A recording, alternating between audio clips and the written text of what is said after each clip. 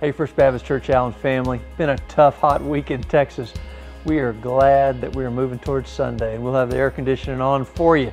We're celebrating the Lord's Supper and we are looking at a couple of key people wrapped around that story of the very end but leading up to the cross.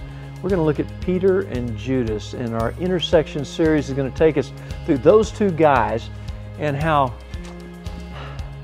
one failed never to return, the other failed he was restored. We're all finding ourselves in these stories of Jesus and his intersections with people. Which one are we going to be? Uh, let's land this well. Judas didn't do so well. Peter, he did.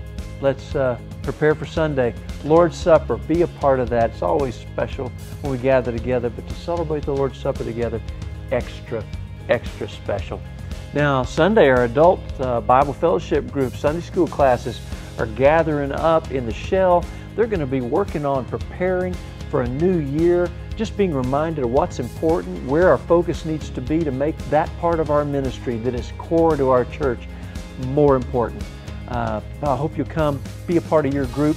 We'll be in the shell. People will give you directions. It's easy to get to. And what a great time just to gather everybody together on a Sunday uh, in our group ministry to celebrate what God's done, what He's going to do in the rest of 2022.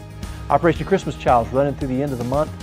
Be a part of that. There are multiple ways to get involved. The website tells you different ways that you can do that. Let's lean into that and be a blessing to the rest of the world with uh, some love in a real tangible way and a good news gospel story to go with it to the ends of the earth. God bless you. We'll see you on Sunday.